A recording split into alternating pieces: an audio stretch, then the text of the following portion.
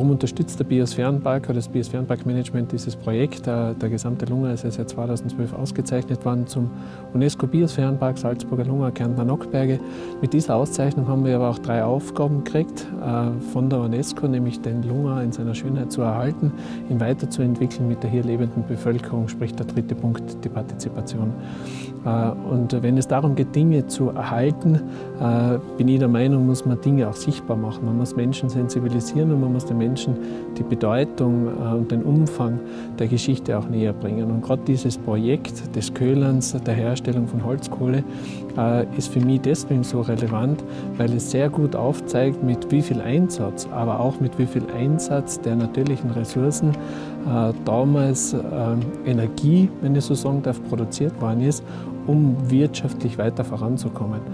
Und aus Sicht des Biosphärenparks ist das wirklich sehr relevant, weil ich glaube, dass die Generation gerade heute sich das gar nicht mehr vorstellen kann, wie viel Aufwand da eigentlich dahinter gesteckt ist, ähm, um Energie zu erzeugen.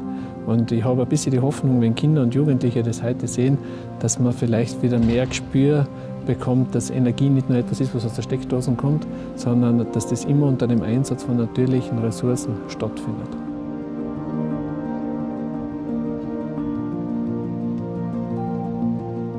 Und über die Landjugend mache ich jetzt ein Projekt für eine Jump-Ausbildung. Das ist eine Ausbildung für Funktionäre. Und da habe ich mir gedacht, das passt genau als Jump-Projekt.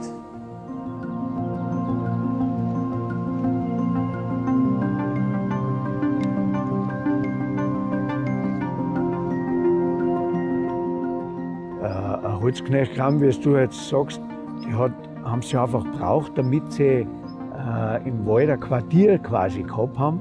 Die Holzknechte sind ja früher nicht täglich heimgekommen, weil das ist ja weit weg gewesen von daheim, irgendwo in die Berge im Wald.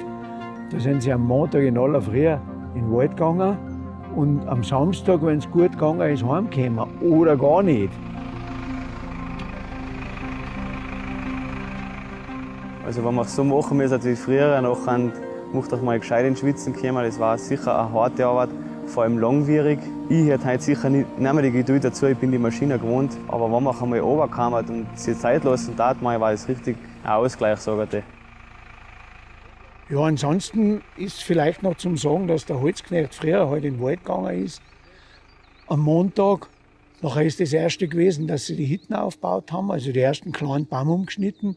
Mit denen haben sie das Rohgerüst aufgemacht und nachher die größeren astreinen Baum umgeschnitten und die, die Lachrohr genommen zum Zumachen von der Hütten.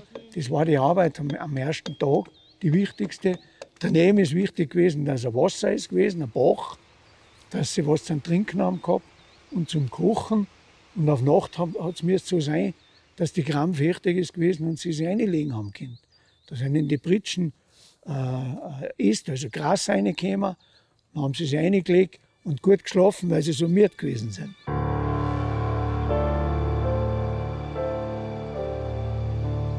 Also ich konnte es mir gut vorstellen in so Holzknecht Gamzenhausen, aber halt nur im Sommer, weil im Winter mal braucht es kalt rein. Aber ich glaube, dass das für ein, zwei Tage mal richtig eine gute Erfahrung werden konnte. Das ist das erste gewesen, wenn sie einen Holzschlag angefangen haben, dass sie die ersten Baum, die kleinen, umgeschnitten haben. Und dann haben sie die Grasangbaum gehackt oder geschnitten eben mit dazu gesagt und haben durch die Lohe, die Lachrohr genommen.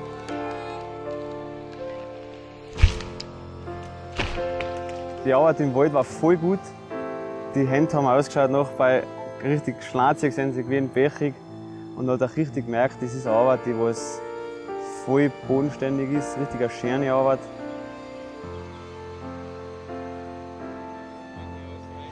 Ist das Wichtigste ist einmal, dass der Baum möglichst wenig Äste hat.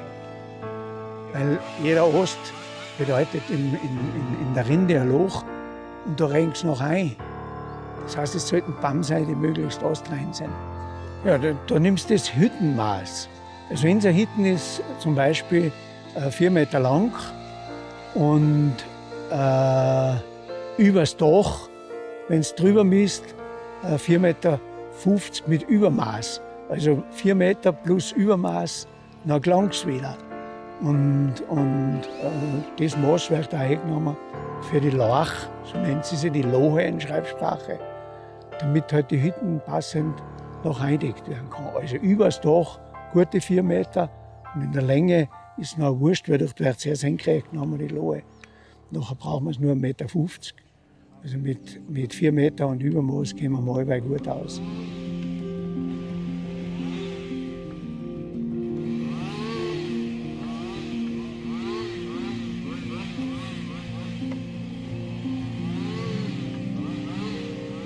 Das Schwierigste beim Lachen selber war, einmal einen richtigen Baum zu finden, einen guten, der was nicht zu viel hat. Und nachher beim Lachen direkt selber probieren, die Rinken nicht zu zum Verletzen, dass die intakt bleibt, dass die wassertief bleibt.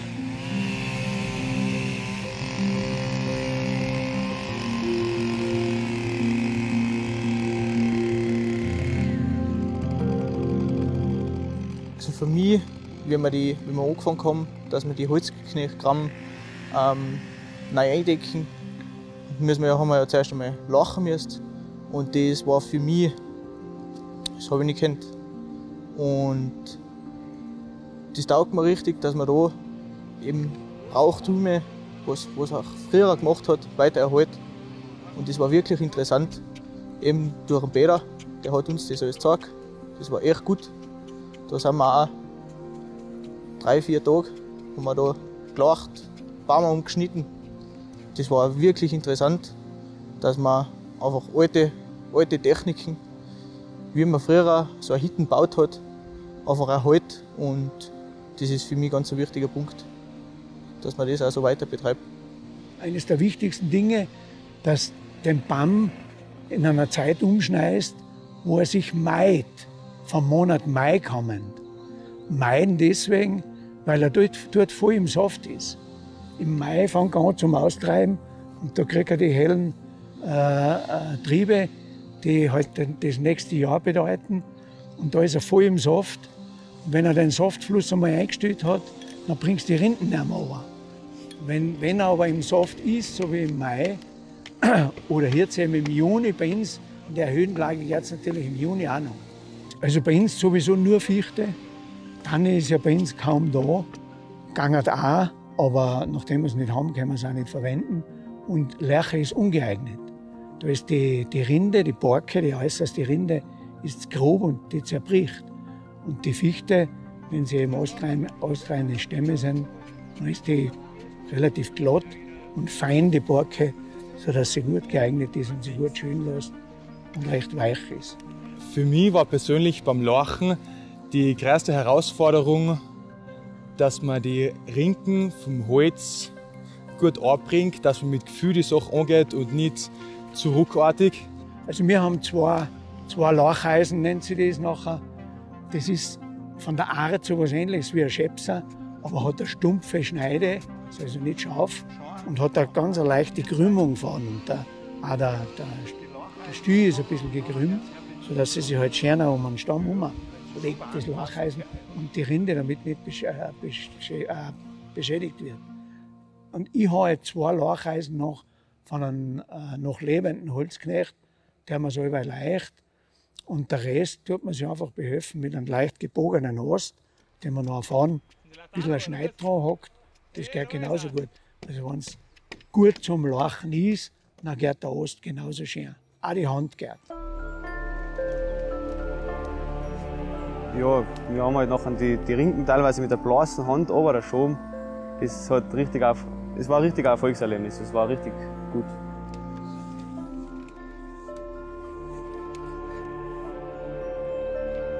Das haben sie schon so müssen zeitlich einteilen. Wenn du eben sagst, völlig recht, wie du sagst, die Lohe, die alte, die dran gewesen ist, ist hin, weil die ist ausdrückend gewesen und ist zerpresselt beim Norden. Und die neue Gerd, sagen wir, in unseren Höhenlagen da, das heißt zwar, der Baum muss sie meien, weil da ist er voll im Saft, aber bei uns in diese Höhenlagen gärt es bis in Juli eine. Also in der Zeit, wenn wir jetzt in etwa haben, Mitte Juli, kann es allweil noch auch. Also Mai, Juni, Juli, Mitte Juli, kannst du allweil noch lachen. Lohe von den Bäumen schön und es geht trotzdem noch relativ gut. In der Zeit sind sie halt übersiedelt und haben wieder eingedeckt. Die Herausforderung beim Decken war einerseits, dass auch die, das Loch wieder nicht hinmacht, dass keine Rissen reinkommen. Es ist auch gar nicht so leicht, als wie es ausschaut. Beim Eindecken von der Holzknechtkram ist mir gekommen, dass es gar nicht so einfach war mit den ganzen großen Rindenstücke, die Graben neu zu renovieren, weil sie doch einen gescheiten Durchmesser gehabt haben. Und da hat man echt zu dritt, zu viert die Sache angemisst, dass wir es nachher auch schnell über die Bühne gebracht haben. Ja, warum, warum die Rinden wassern, nachdem sie herinnen ist und schon bereit liegt praktisch zum, zum Eindecken und zum Zumachen von der Holzknechtkram. Äh, eben deswegen, weil sie, solange sie im Wald ist und ein Baum oben ist, am frischen Baum, ist sie im Saft. In, in dem Teil, in dem Innenteil der Rinde, der Borke, findet ja der Saftfluss statt und da ist sie richtig gesättigt mit, mit Saft, mit Wasser in erster Linie, natürlich auch mit Nährstoffen. Und, und damit sie halt möglich, möglichst lang wach und, und geschmeidig bleibt, tut das halt nachher auch, während man es verarbeitet, noch halber mit Wasser gießen, dass sie auch äußerlich, weil die Borke ist ja recht trocken und ein bisschen spor, also spröde und tut das Wasser, damit es alles schön wach bleibt und sie sich noch schön um die, um die Ecken bzw. übers Dach drüber legt und schön, schön, schön ihm nachher liegt und schön ruhig.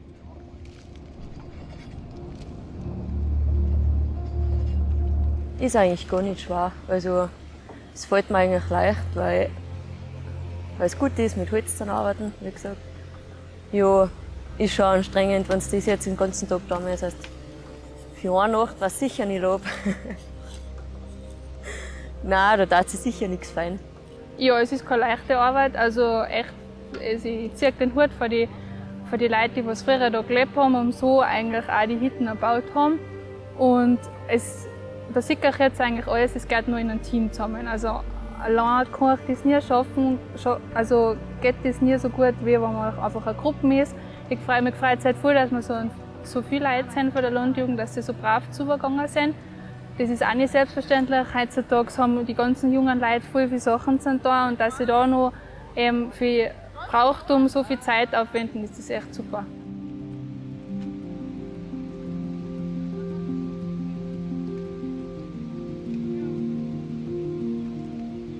Die Lohe ist ja nicht nur zum Eindecken von, von der Holzknechtkram verwendet worden, sondern in wesentlich größerem Maße zum, zum Gerben von Häuten. Da haben sie äh, Eichenrinde, in dem Fall Eiche, wächst ja bei uns kaum, aber bei uns eben die, die Fichtenrinde. Die ist nachher geschnetzelt worden, so, wie, so ähnlich wie heute Hackschnitzel hat das noch ausgeschaut. Und der Gerber hat das verwendet aufgrund der Gerbsäure, die drin ist in der, in der Lohe für die Bearbeitung der Häute. Ja, gewesen ist es so, dass ich schon seit einigen Jahren, äh, wenn gesucht hätte, dem ich das, dieses alte Handwerk weitergeben konnte, dass das erhalten bleibt und nicht, und nicht in Vergessenheit gerät. Und da bin ich halt im, im Überlegen gewesen, zu wem konnte ich denn gehen. Äh, es muss die nächste Generation sein, die Jugend sein. Und da ist so die, der erste Gedanke einmal gewesen, die Asterfeuerbauer von Dommertal. Das ist eine junge Gruppe, die alle, alle Jahre das Asterfeuer baut. Und, und dann zu denen, ja, kommt man schon auch einmal und so hin und her. Und dann ist eben, äh, einer davon ist bei der Landjugend recht aktiv, Landjugend unterm Berg Dommertal. Und den habe ich noch angesprochen, das ist der Zehner Andreas. Und der Andreas hat noch gesagt, ja, das war ganz interessant, aber für nächstes Jahr haben wir schon irgendwas. Das haben wir halt wieder ein Jahr gewacht. Und jetzt ist es so gewesen, dass ich es halt wieder einmal angeredet habe und jetzt die Landjugend auf mich zugekommen ist und gesagt hat, im Rahmen einer Weiterbildung, dieses, diese Weiterbildung heißt Jump, der Landjugend, das ist eine Weiterbildung für Führungskräfte, äh, muss derjenige, der diese Weiterbildung oder Ausbildung macht, ein Projekt nachweisen und durchführen, äh, projektieren, äh, ausführen und äh, präsentieren. Und sage, das passt mir halt jetzt ganz genau.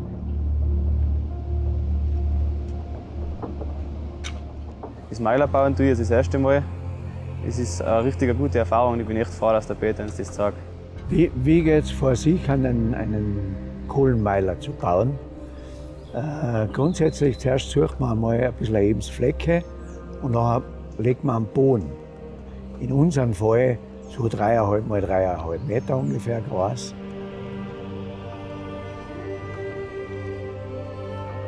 Ich bin das erste Mal bei so einem Ereignis dabei, wie die meisten da eigentlich. Und mir hat schon die ganze Hintergrundgeschichte von Köhlerei irgendwie interessiert, hat irgendwie auch was Mystisches und das Handwerk, was dahinter ist. Da muss man mit, mit der Wissenschaft irgendwie zusammenarbeiten und dass man das irgendwie noch ein, mal heraus hat, das ist gar nicht so einfach. Du brauchst viel Zeit und Geduld und Fingerspitzengefühl. Und der Boden ist wichtig, weil das, das Holz, das man stellt, das Rundholz, das wird dann auch hingestellt, nicht auf der Erde aufstehen soll. Weil die Erde ist kalt und dann kohlt das nicht ganz bis zum Ende. Und außerdem sollte der Boden ein bisschen äh, weg sein von der Erde, also mit Unterlagen äh, sein, damit er dort Luft kriegt, wenn man es braucht. Vor allen Dingen in der zuerst einmal. Dann liegt der Boden da und dann macht man einen Kamin.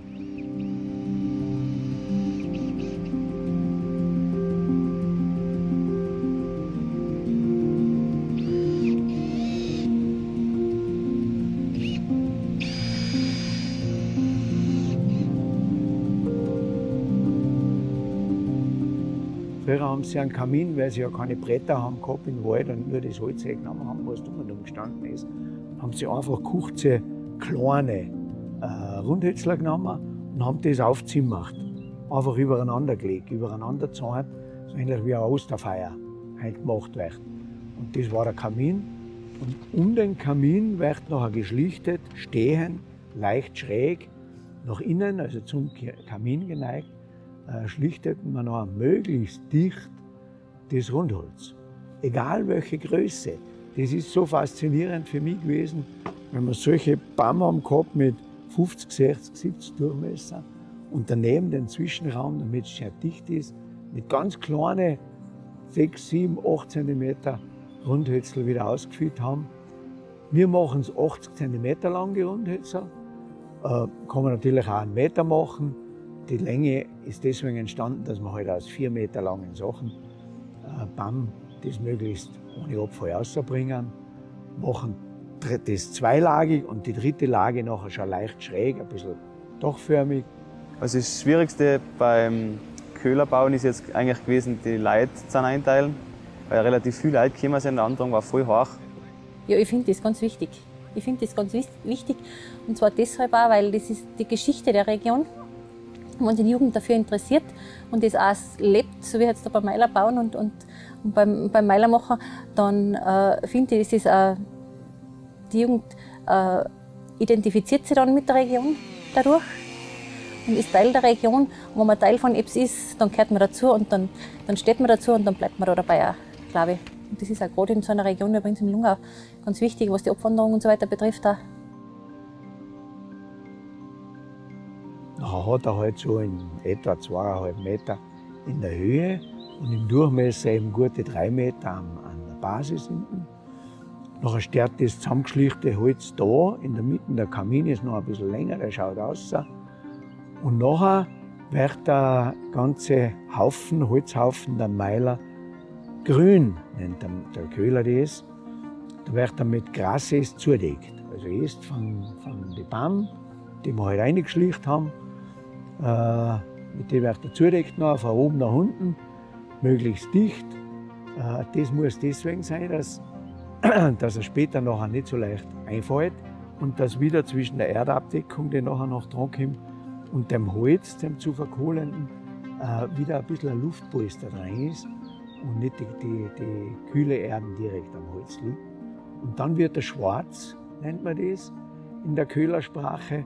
Also er wird mit mit Lösch, nennt man das, das ist ein Gemisch von ehemaligen alten äh, Meiler und Erde. Können da Vasen sein, also ruhig, äh, kann was Kleines dabei sein. Mit dem wird er zudeckt, von oben bis unten ganz dicht.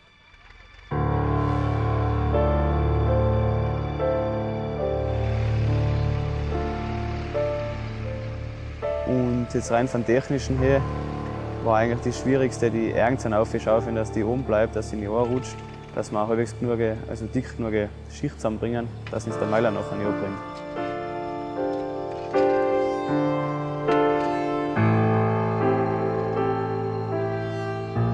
Ich finde schon, dass die Köhlerei auch im Jahr 2020 noch ein wichtiger Bestandteil für die Bevölkerung ist.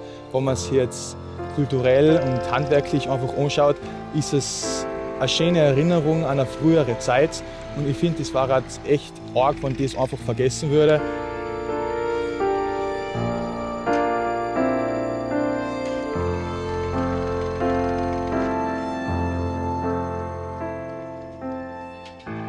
Wird noch zuerst ein Rundgang gemacht, so auf halber Höhe, außen mit schrägen Grundlingen und dann Pfosten um und um gelegt, damit der Köhler um und um gehen kann und von oben auf die oberste Stelle des Meilers auch sieht.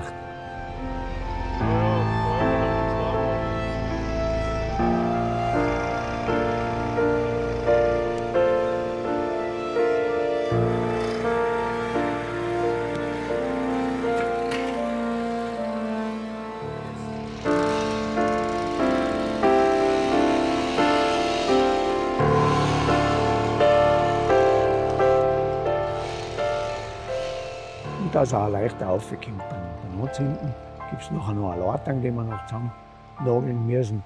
Wird zugeklärt und da greift der Köhler nachher auf und ab und, und beobachtet und, und, und betreut den Meiler. Und dann macht man oben direkt am Loch vom Kamin, am Kamin dran, macht man mit Kleinholz Holz ein Feuer. Einmal wieder Scheitel für Scheitel nachlegen, bis das also richtig Flutzfeuer ist und eine richtige Glut ist. Und dann stößt man die, die Glut von dem Feuer so nach, nacheinander äh, in den Kamin rein. Die fällt nachher bis zum Boden vom Meiler und fängt durch hinten nachher zum Brennen an. Weil durch den Boden kriegst du ein bisschen Luft und die Kaminwirkung, die ist vorhanden, deswegen heißt es ja auch Kamin. Und der fängt voll zum Ziehen an nachher. Und ich sage weil der Meiler, der muss nachher richtig brummen und muchen, sage ich aber. Fängt an zum Tun. Dann hat, weiß, dass er hinten die nötige Hitze hat. Dann raucht es natürlich mutsmäßig zuerst einmal. Und wenn er so tut und du merkst, hinten ist jetzt eine ordentliche Hitze drin, dann deckt man oben den Kamin zu. Auch, auch wieder zuerst mit Gras ist und dann Erden drauf. Und dann muss man halt ein bisschen vorsichtig sein, dass er, ins, dass er ihn nicht ablöscht und hin und wieder ein bisschen Luft unter Umständen geben. Und dann fängt er zum Kalm an. Und dann ist es so, dass der, die meisten sind ja der Meinung, der fängt hinten noch zum Glieren an und gliert halt weiter, bis er oben fertig ist. Das ist genau das Umgekehrte ist der Fall. Die Hitze von unten, die Glut, die muss nachher aufbrennen, ganz nach oben im Kamin. Und ganz oben fängt der Meiler dann zum Verkohlen an, also zum Brennen an. Und dort bildet sich nachher die Glut und die wird vom Köhler nachher äh, vorsichtig und achtsam allweil, dass er ja nicht zum Brennen anfängt, indem er Luft gibt, Luftlöcher gibt, mit einem, mit einem Eisenspitz nachher, sticht er allweil ein bisschen rein und er sieht genau am, am Rauchen des Meilers, wo der Meiler gerade steht, wie weit er gediehen ist. Und so gibt er ihm Luft und dann verbrennt der oder verkohlt von oben nach unten schraubenförmig ein. So wie eine Gewindeschraube. Das muss der, der Köhler eben erkennen. Wo ist er denn gerade? Wo brennt er gerade? Dort gebe ich ihm wieder ein bisschen Luft und so lenkt, lenkt dann weiter, bis er ganz unten ist. Und dann ist er fertig. Dann kannst du ihn zudecken und kannst ihn lassen. Monatelang unter Umständen. Wenn du nach drei, vier Monaten aufmachst, dann fängt er wieder zum Burnen und, und zum Gluten. Also das Gefühl beim Anzünden ist, ist zweigespalten. Einerseits gefreut ich sehr, dass ich endlich eine Arbeit, kann man sagen, starten kann oder halt in, in, in Lauf bringen kann. Und andererseits ist das halt relativ von Rache eine harte Arbeit gewesen. Es hat voll geracht, es war schwarz an Schnaufen, es war heiß bei den Händen. Ich habe mir die Hände also völlig verbrennt, die waren gesicht, die waren gelb, wenn man gerochen hat, hat es wie, wie ein Speck gerochen. Und das hat, das hat drei, Wochen, drei Wochen ist das auf der Hand gewesen. Also es war nie, nie schön in, der körperlichen Seite, aber es war schön vom Gefühl her, kann man sagen. Und Kohlenbrenner heißt einfach, ich mache aus Massivholz Fichte, Buche, Lerche. Bei uns ist es halt Lerche und Fichte in erster Linie, aber auch Birke oder Erlige genauso mit eingemischt, völlig egal. Äh, das wird in diesem Vorgang, Brennvorgang, äh, zu Holzkohle gemacht. Äh, ich habe es versprochen, dass ich einen Meiler baue, wenn in Dommertal die erste, eine erste Bildungswoche veranstaltet wird, vom Bildungswerk, vom örtlichen. Und dann ist 1999 tatsächlich es so weit gewesen, dass ein Bildungswerk, eine Bildungswoche veranstaltet worden ist. Dann habe ich mein Versprechen müssen einlösen und, und haben wir es dann Meiler bauen. Jetzt, die Frage war nur wie. Ich habe keine Ahnung von dem gehabt. Der Herr Kernberger aus Weißbrach ist der letzte Kohlenbrenner gewesen im Lungau, der ist gestorben gewesen. Seine Frau hat mit dem Handwerk eigentlich nicht so richtig erfreut gehabt, weil sie gesagt hat, der dauernd hat es gestunken und er hat einen Dreck gehabt. Also auch nicht richtig fündig waren mit Auskünften. Dann war ich bei einem Herrn Wieser in der kalten Küche, der dort noch aktiv Kohle brennt. Und den habe ich ein bisschen ausgefratschelt, der hat mir auch ein bisschen gezeigt und ein bisschen verzögert. Aber im Detail hat er gesagt, musst du probieren. Jeder Meiler funktioniert ein bisschen anders. Das ist fast sogar wie bei einem Computer, der hat menschliche Züge. Und, und so bin ich nachher heimgefahren und haben wir halt den ersten Meiler zusammengebaut und angezündet und es ist tatsächlich ein bisschen Kohlen rausgekommen. Also Kohle hat man in erster Linie in der Zeit, also vor 100, 150 Jahren, bei uns da für, den, für das äh, Schmelzen des Erzgesteins braucht. Große Hitze. Da ist also in Hochofen Erzgestein eingeführt worden, eine Lage Kohle wieder, Holzkohle, wieder Erzgestein. Und so ist der Ofen von unten bis, äh, bis oben befüllt worden, nach unten angeheizt worden. Und die Hitze hat sich nach oben äh, weiterentwickelt. Und oben ist aber wieder nachgefüllt worden. Also große Hitze hat man äh, braucht, um das Erzgestein aus dem Erzgestein Gestein, das Eisenerz, zu schmelzen. Und ja, das ist der, auch der eigentliche Grund, warum mir damals vorgekommen ist, 1999, ist mir, sagt man da neben Hochhofen fast wieder einmal probieren, äh, Kohle zu brennen. Es ist nicht mehr da, der es kann, es ist nicht mehr da, der es tut. Und ich habe es halt versucht und es ist mir gelungen, Holzkohle äh, zu erzeugen. Heute ist es so, dass in der kalten Küche zum Beispiel in Niederösterreich äh, relativ große Mengen Holzkohle noch gebrannt werden und die dort ganz professionell vermarktet werden äh, im, im Abhofverkauf. Die Leute holen sich durch die See ab und dort halt als Grillkohle dann verwendet werden. Verwendet ist sie früher auch noch waren, bevor nachher die Steinkohle Einzug gehalten hat, äh, wie halt die Transportwege einfacher sind waren und maschinell sind waren hat man ja Steinkohle bei uns nicht gekriegt, sondern da haben sie die Schmied zum Schmiedeln verwendet auch. Holzkohle. Nachher ist halt die Holzkohle von der Steinkohle abgelöst worden. Also ganz am Anfang, während dem Bau, hat der Peter mir die Tipps und Ratschläge gegeben, wie es beim Meiler zu schauen ist. Ab und zu haben wir uns auch getroffen noch am Anfang.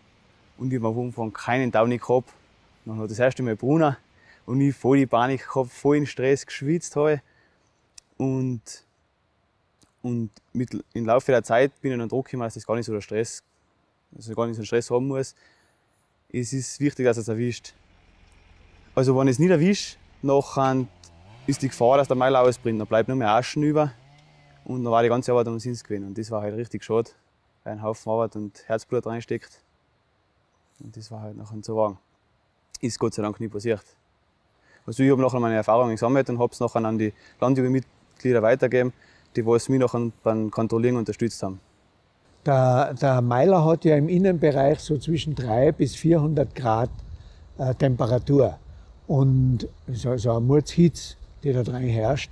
Und der trocknet natürlich von innen nach außen die Optikerde aus. Und wenn es also außen, wenn es nicht regnet, also außen auch recht warm und trocken ist, dann ist die Gefahr, dass die Erden halt trocken wird recht schnell und sobald sie trocken wird, wird sie bröselig und, und fließend und fällt dann leichter durch die Grasist, mit der er abdeckt ist, eine und entsteht ein Loch und dort kriegt der, Meiler Sauerstoff und nachher fängt er zum Brennen an. Deswegen muss man von Zeit zu Zeit, wenn man sieht, da sind recht trockene Flecken, äh, wagen, dort auch mit dem Spritzkrug wieder gießen und nass machen, dass die Erde eine Feuchtigkeit hat und dadurch ein bisschen zusammenhängender ist und besser hat. Viele sagen zu mir, ja, was tust du an die Arbeit an magst Holzkohle oder warum haben sie das früher so getan? Das ist einmal Aufwand. Die konnten ja gleich das Holz hernehmen und das verharzen. Äh, der, der Grund dafür, warum man aus Massivholz Holzkohle macht, ist, dass die Holzkohle einen wesentlich höheren Brennwert hat. Das Holz, wenn es das verharzt, das dampft und racht. Was ist das, was rauskommt? In erster Linie Feuchtigkeit. Und da geht ein großer Teil der Energie des Holzes dafür auf, dass er das, diese Feuchtigkeit ausbringt aus dem Holz und, und produziert also wenig Hitze für das, was wir eigentlich haben wollten, nämlich zum Eisenerz, zum, zum Erzgestein schmelzen.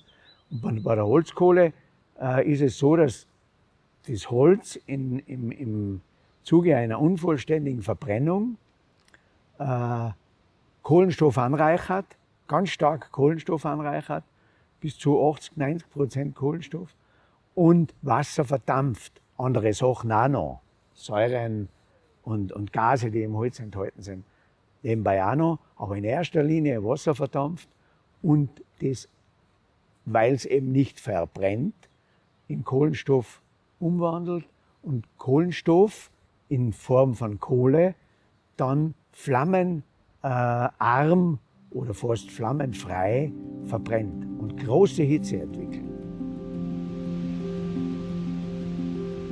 Der Köhlerbau, was jetzt die Landjugend gemacht hat, bedeutet das, dass, äh, sagen wir mal so, das uralte Handwerk, was notwendig gewesen ist, dass die Eisenerzeugung hat können stattfinden, dass da wieder ein Zeitdokument da ist.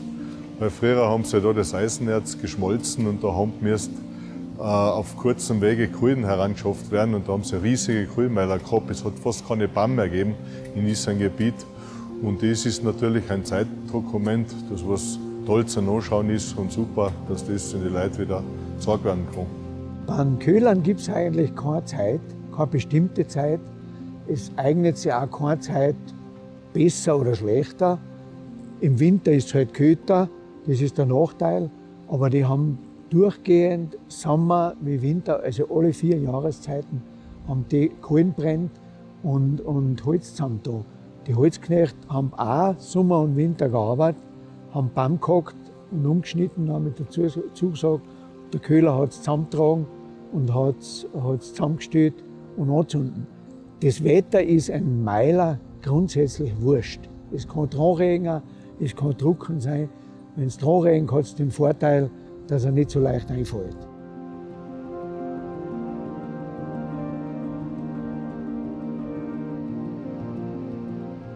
Also bei, bei, der Kontrolle, bei der Meilerkontrolle, wenn du hingehst, dann siehst du schon einmal, ob er racht oder nicht. Das ist schon einmal ein Zeichen, dass er im Betrieb ist.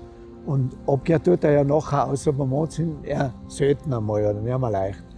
Und, und wenn du siehst, wo er racht und wie er racht und wie er riecht, nachher weißt aha, er verkohlt jetzt da in dem Bereich in etwa. Und nachher siehst du schon, da ist die Erde unter Umständen trocken. Dann nimmst du eine Schaufel und klopfst vielleicht einmal ein bisschen vorsichtig dran. Und, und wenn doch nachher die Erde einfällt, dann weißt da war in der nächsten Zeit wahrscheinlich ein Lochwagen und da hätte er noch brennt. Und auf das schaust und schaust natürlich auch, wo, wo stört er denn von der Höhe her? Wo, wo verkohlt er gerade? Aha, da ist er in etwa. Und dann gebe ich ihm ein Stück weiter und vielleicht ein bisschen tiefer ein Loch und ein zweites vielleicht. Dann brennt er, kriegt er doch wieder ein bisschen Sauerstoff und brennt doch schneller halt weiter. Das Schlimmste, was mir beim Meiler aufpassen passiert ist, ist eigentlich gewesen, da hat es voll gekränkt und wir mit dem zweiten Meiler gerade erst frisch zudeckt gehabt und anzünden gehabt. Und dann hat es den ganzen Drehkörper geschwappt und ich war mit den Händen und Füßen rund um den Meiler rein, ganz auf und auf, bis 10 in, in der Nacht und voll dreckig halt und gekränkt hat und gewittert hat. Und da wünscht sich halt auch was anderes, als wir am Sonntag auf dem Abend um 10 im Gartenstein stehen, aber gehört halt dazu. Also es war beim Meiler kontrollieren oft relativ anstrengend. In der Früh um fünf, halb fünf bin ich oft aufgestanden, bin reingefahren. Nachher hat er entweder Brunner, nachher habe ich länger gebraucht. Wenn er nie Brunner hat, nachher bin ich bald einmal wieder heimgekommen, bin in die Arbeit gefahren, bin heimgekommen, habe was gegessen, bin wieder zum Meiler rein. Und nachher ist auch schon 10 Uhr Schlafen gewesen. Also das war ein hübscher Tagesablauf in den letzten zwei Monaten. Das mit der, mit der Arbeit und auf den Meiler schauen, das war relativ schwierig. Da bei uns der Andi, das ist ein Wahnsinn. Der hat da jeden Tag, ist der reingefahren, arbeitet auch nebenbei. Ich bin auch ab und zu, wenn ich Zeit gehabt habe, ab und zu fahren arbeiten, auch nach dem Arbeiten sind wir reingefahren. Haben wir gemeinsam haben wir geschaut, dass wir zwei, drei Leute sind, dass mein Andi auch ein bisschen Arbeit abnehmen wäre. Das ist auch ein wichtiger Punkt, dass, dass du nicht einen im Stich lässt, sondern zusammenhilfst. Und ja, das war ein sehr, sehr cooles Projekt. Und man auch da als Landjugend, beziehungsweise nicht nur als Landjugend, sondern auch als Freund zusammenhilft, das war echt, echt eine coole Geschichte. Ich habe jetzt erst einmal beim Kohlenmeiler also über Wache gehabt habe, sprich überprüfen, wo er noch brennt, wo zu viel oder wenig brennt, war schon eine Herausforderung. Beim ersten Mal, wenn man selber nicht ganz gewusst hat, passt das so oder ist das zu viel oder zu wenig, wie er raucht. Also ihr kennt euch zum Beispiel auf den Rauch, wenn der Rauch blau ist, dann zirkt er zu viel Luft, dadurch ist er zu Hause innen drinnen und dann kann er zum Brennen anfangen. Man muss er eben wieder die Löcher zumachen, dass er weniger Luft kriegt und somit er weniger raucht. Mir hat eigentlich der Andreas gesagt, äh, wobei er selber natürlich noch nicht genau gewusst hat, auf was er schauen muss. Aber er hat halt aber gesagt, Blauracher darf er nicht. Und ich möchte, okay, Blauracher, was bei das ist. und mit der Zeit kommt er nachher schon drauf, dass eigentlich im meisten Wasserdampf kommen sollte und wenn man da, wenn man da umgeht, nachher schaut auch beim Wasserdampf äh, von gewissen Seiten über durch. Wenn er blau raucht, dann kann man eigentlich nicht mehr durchschauen. Wenn er brennt, dann raucht er eigentlich, dann raucht er eigentlich blau. Dann ist es meistens so, dass, äh, dass er eingefallen ist, dass ein Loch ist im Meiler, dass die Erden dann nachgegeben hat im, im Hohlraum, wo, wo sie das, das, das Holz wird weniger und dann entsteht der Hohlraum und das bricht dann früher oder später mal ein. Und da kriegt er dann Luft. Und da am Anfang füllt man zuerst noch Holz nach, die erste Zeit, und später dann äh, tut man das nicht mehr, aber man tut dann immer ein Gras drauf und wieder Erden drauf und macht ihn wieder dicht, sodass er keine Luft kriegt.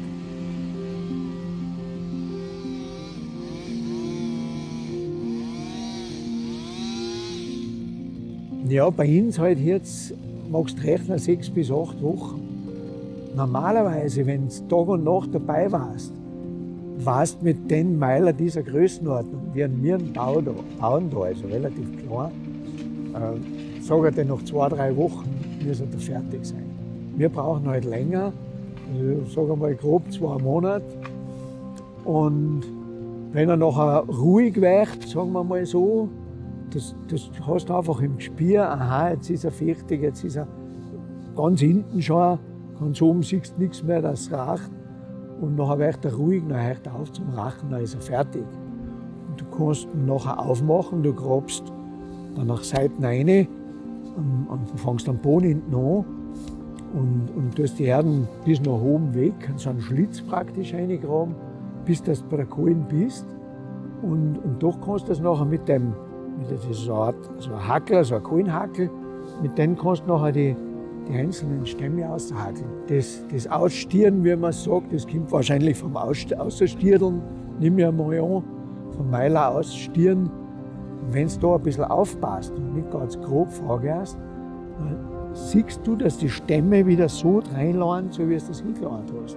Wenn man hier und da einen mögt, weil ich hier und da einen festen habe gehabt, an so einen dicken Stamm und noch daneben so kleine, am Anfang überhaupt, wie ich es noch nicht so kennt habe. Und nachher habe ich mir einen gemerkt und gedacht, jetzt bin ich neugierig, wie der ausschaut. Der stört so rein und ist pechschwarz.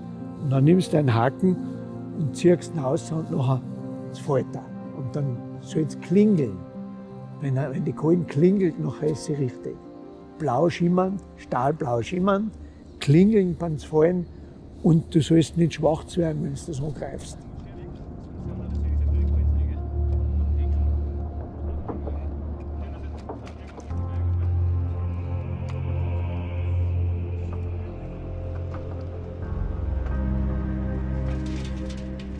Das Gefühl, also das Gefühl, wo man das erste Mal das eigene Kohlen ausgrabt, das war voll gut. Das ist nicht direkt beim Ausgraben gewesen bei mir, das war wie er eine Brunner hat und ich eng aus der Schaufel habe müsst. Dann sind kein Stückchen mitgegangen und ich habe jetzt einzeln, sogar das kleinste habe ich mitgenommen. Habe voll die Freude damit. Daheim habe ich es jetzt auch an jeden. Der erste Kohlen aus dem Kohlenmeiler, das war schon gut. Es ist echt irgendwie ein schönes Gefühl, weil man jetzt sagt, von, von Mai eigentlich bis jetzt Herbst ist man bei dem Projekt dabei und begleitet das und man sieht immer die Fortschritte, was sie tut. Und nachher hat man schlussendlich das Endresultat, was man eigentlich die ganze Zeit im Kopf hat, in der Hand. Und da kann man echt gescheit stolz sein. Also das Gießen beim, beim Ausstieren ist eine ganz wichtige Geschichte, weil die, das Ausstieren ist wiederum einmal, äh, wie so vieles beim Meiler, eine ganz eine gefährliche Phase, also ganz ein gefährlicher Zeitpunkt.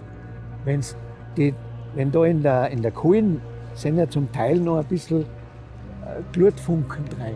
Das siehst du aber nicht. Du tust das aus, du stabst und du rachst einmal auf und dann liegt sie heraus und du denkst dir nicht, was Gott wie viel.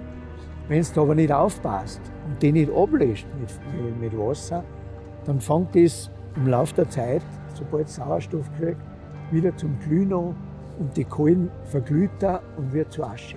Ganz eine gefährliche Geschichte. Deswegen ist das, das Ablöschen mit Wasser ganz eine wichtige Aufgabe. Ja, beim Werkzeug ist es so, da gibt es nicht weiß Gott wie viel. Eben wird man zumachen, wie gesagt, die Schaufel und nachher beim Aufmachen eben auch wieder zuerst die Schaufel und nachher diesen, diesen Stierhaken, der schaut fast aus als wie eine Zappe, so ähnlich, ist aber hinten ein bisschen verbreitert und vorn so ein bisschen schnabelförmig. Und den kannst du so schön nehmen, noch die Stämme und auszahlen. Das ist der Stierhaken vom Stirlen wieder. Und, und das andere ist die, die, die Gabe. Das ist eine breite äh, Holzgabe mit, mit Holzzinken auch. Und auf die tust du das einfach dran, ziehen die Stämme, wenn sie noch zu fallen, die Kohlen, auf die Gabe da dran. Das ist einfach wie eine Echtlein-Gabe, ist das die Kohlengabe. Ich kenne keinen anderen Ausdruck. Und da fällt halt die Aschen und die Erden schwer durch und die Kohlen magst du auf Zeiten schöpfen damit. Also ich persönlich finde, dass von Anfang an ein echt enormer Zusammenhalt da war und der zieht sich bis jetzt durch, vom Anfang bis zum Schluss eigentlich. Natürlich gibt es zwischendurch wieder mal Momente, wo, es ein bisschen nachlässt, aber im Grunde kann man echt stolz sein auf die Jugend in Unterberg und Dammertal. Also Kohle, die, die landläufige Grillkohle, die du heute zu kaufen kriegst in die, in die Märkte und überall, äh, die wird ja nicht so produziert, wie es wir da machen, im, im Kohlenmeiler, Rund- oder Liegemeiler, wie immer, sondern die wird richtig professionell für andere Zwecke eigentlich produziert, sei es für die Medizin und da gibt es alle möglichen äh, Zwecke für Holzkohle. Äh, und in dem Fall ist es nachher eigentlich das Abfallprodukt, das als Grillkohle dann in, in Verkauf kommt. Äh, produziert wird es in, in, den meisten Fällen so, dass das riesige Container sind. Äh, musst du so vorstellen wie ein Lastwagencontainer, der aufgemacht wird auf einer Seite. Dann werden die, die Stämme durch eingestellt, eben mit 2 Meter oder 2,50 Meter Höhe, was halt der, der Container hat.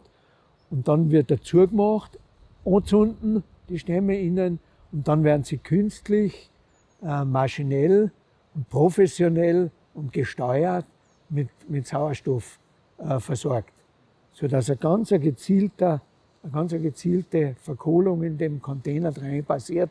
Das ist binnen kürzester Zeit ist der Container fertig, wird aufgemacht, Kohlen rausgekramt, für den Zweck verwendet, für den es gedacht ist das, was überbleibt, wird abgesagt und, und als Grillkohle verkauft.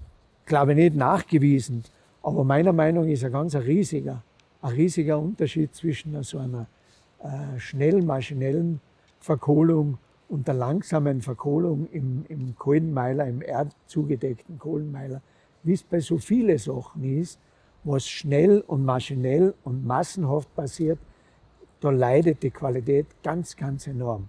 Und mir hat einer einmal gesagt, der früher einmal Buntschokohle geholt hat, bei mir, der ist wieder gekommen um einen Sack und hat gesagt, das Gegrillte ist ein Wahnsinn, hat er gesagt. Das schmeckst du einfach, dass das mit einer anderen Kohlen gemacht worden ist.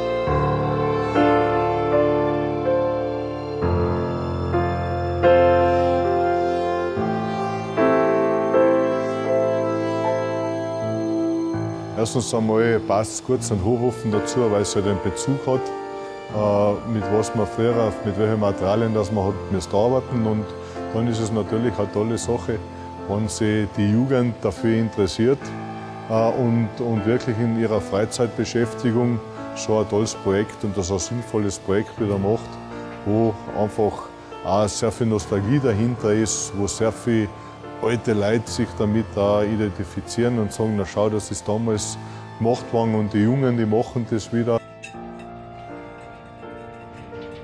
Wir verkaufen unsere Kohlen und die Einnahmen davon werden für einen wohltätigen Zweck in Lungau gespendet. Und ein kleiner Teil wird der Landjugend zugute fallen für Hefehausen. Glücklich bin ich darüber, weil ich die Arbeit endlich in Händen halten kann.